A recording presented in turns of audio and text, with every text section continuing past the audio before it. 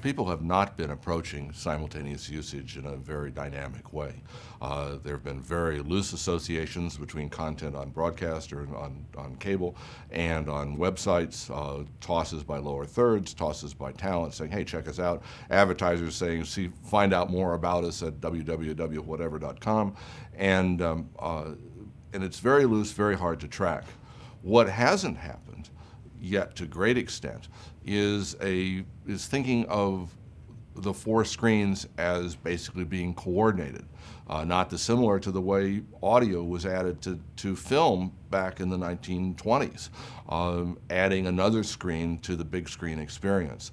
So people can move their attention from one screen to the other, or there's an integrated experience that's always right in front of them. And if there's a, a commercial running on the, on the television screen, there's other information to keep them interested um, on their pad or, or on their uh, mobile device. Uh, that has two purposes. One is it makes sure that the marketer's message gets through instead of being skipped, and it also increases or improves a consumer experience.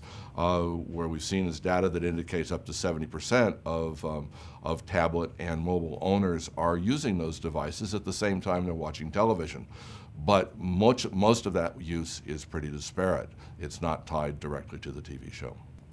People are thinking about screens as standalones, and so they're launching a campaign here and that same campaign over there or a different one, but they're not trying to provide an integrated experience between the multiple handheld screens and the television, despite the fact that 70%, it appears, of people with pads or mobiles are using those at the same time they're watching TV.